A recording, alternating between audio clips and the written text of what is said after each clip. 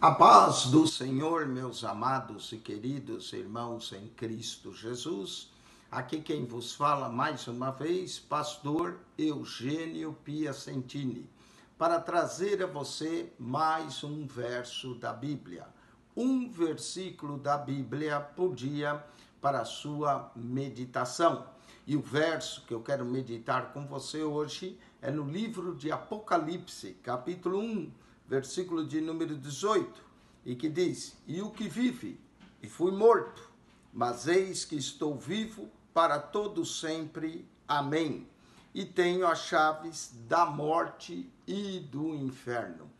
Que expressão maravilhosa de nosso Senhor e Salvador Jesus Cristo, ao aparecer a João, que foi arrebatado em espírito no dia do Senhor, e teve uma visão do Cristo glorificado e o Cristo glorificado fala com ele e diz: e, vi, e o que vive, e fui morto, mas eis que estou vivo para todo sempre. Jesus ressuscitou, está vivo para todo sempre, está na glória, sentado à destra do reino do Pai, no reino dos céus, e Jesus diz: "E tenho as chaves da morte e do inferno".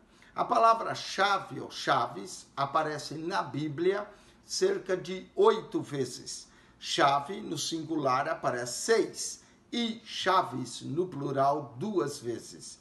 Uma no Apocalipse 1, 18 e outra no Mateus 16, 19. Chaves ou chave quer dizer símbolo de poder e autoridade. Quem tem o poder e autoridade sobre a morte é Jesus. Jesus é o Senhor da vida e Jesus também é o Senhor da morte. Ele tem as chaves da morte. Apocalipse, capítulo 1, verso 18, nós encontramos as primeiras chaves, chaves da morte. Quem tem esse poder sobre a morte é o Senhor Jesus Cristo. Segundo chaves que eu quero mencionar é as chaves do inferno. O inferno tem suas chaves e quem tem o poder sobre o inferno é Jesus Cristo. Jesus tem o poder sobre a morte, Jesus tem o poder sobre o inferno. Então aqui nós encontramos, Apocalipse 1,18, duas chaves: as chaves da morte e as chaves do inferno. Mas não é só sobre as chaves da morte e do inferno que Jesus tem o poder e a autoridade. Note em Mateus 16, quando Jesus faz a pergunta quem os seus discípulos diziam que ele era, e Pedro dá a resposta: Tu és o Cristo, o Filho de Deus vivo. Jesus então dá a revelação da igreja e diz em Mateus 16, 19: Te darei as chaves do reino dos céus. Quem tem as chaves do reino dos céus é o Senhor Jesus. Então ele tem as chaves da morte, ele tem as chaves do inferno e ele possui as chaves do reino dos céus. Ninguém pode entrar nos céus sem a autoridade o poder que Jesus Cristo concede. As chaves do reino dos céus, que abre o reino dos céus para nós, está em Jesus Cristo. Mas quero falar de uma quarta chave, a chave da ciência mencionado por Jesus numa repreensão que ele faz aos escribas e fariseus da sua época, Lucas capítulo 11, versículo de número 52. Nós vamos encontrar uma outra chave aqui. Ai de vós, doutores da lei, que tirasse a chave da ciência. Ciência é conhecimento, é sabedoria, conhecimento, sabedoria tem uma chave, e a chave da ciência. No caso dos doutores da lei, eles tiraram a chave da ciência porque eles possuíam a palavra de Deus, eles tinham conhecimento da palavra de Deus, por isso possuíam a chave da ciência. Mas eles tiraram a chave da ciência e não entraram e ainda impedia os que entravam.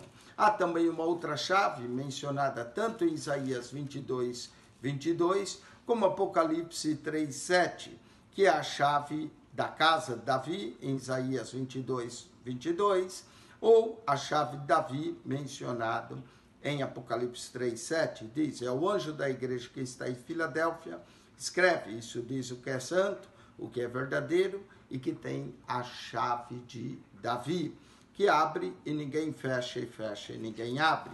Essa chave de Davi menciona que abre, ninguém fecha, e que fecha, ninguém abre. A porta que Jesus abre, ninguém fecha, e a porta que ele fecha, ninguém abre.